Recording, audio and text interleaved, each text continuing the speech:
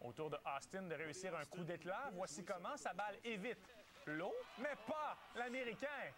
Oh non, il tombe à la renverse. la tête dans l'eau, c'est bien fait. Jim Furyk n'en revient pas.